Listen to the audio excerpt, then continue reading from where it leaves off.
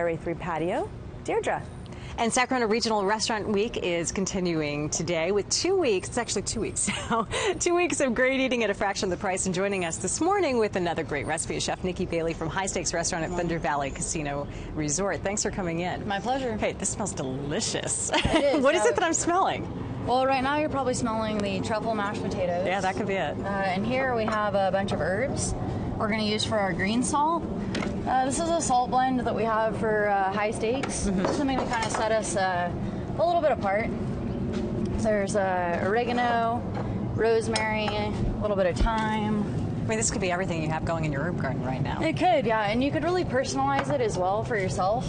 Anything that you have that you really enjoy, any fresh herb that's your Mm-hmm. favorite, and we just go ahead and blend them up in here.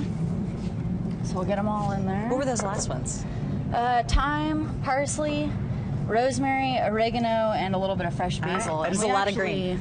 Yeah, these actually all come from our herb garden that we have at High Steaks. Really? We have our very own herb garden there. So we'll blend these up here. Just kind of get them into a. That's the quietest processor I think we've ever had on this show. Oh, thank you very much. Nicely done. Yeah, thank, Thank you. no, thank you. So we're gonna uh, blend this here and just kind of get it into a little bit of a puree, Mm-hmm. uh, and then we're gonna add kosher salt.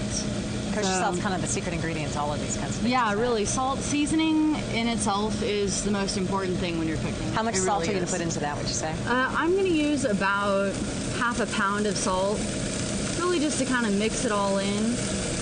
And like I said, you can customize customize it. Any any herbs that you like to use. Mm-hmm. How long will this keep if you make it in advance?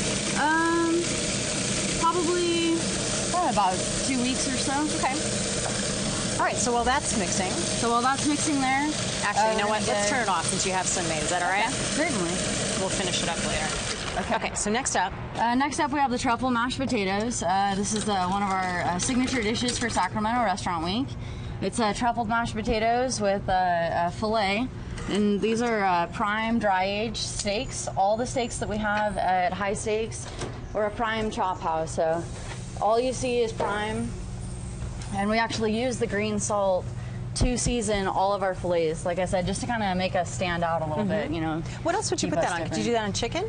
We actually use that for everything in the restaurant. All of our mashed potatoes, seasoning, anything that we season, which is everything. Yeah. Uh, we use that for, yeah. What's the secret to your mashed potatoes? Mashed potatoes, uh, basically steam them first, uh, and then you get your cream or half and half.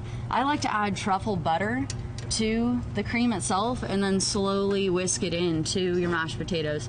The key is not to, to not over whip the mashed potatoes, I would say. Mm-hmm. and then you just dice up the um, the truffles a little bit too and put a few chunks Mm-hmm. Yeah, in. well, we actually have a, a truffle shaver here that's just for shaving truffles, and this is about two hundred dollars worth of truffles. Seriously? Yeah, they are not cheap. Where do you get truffles? Uh, we get ours from a company called Earthly Delights, Okay. uh, but really any specialty uh, specialty purveyor, you can go ahead and get them from the, from there.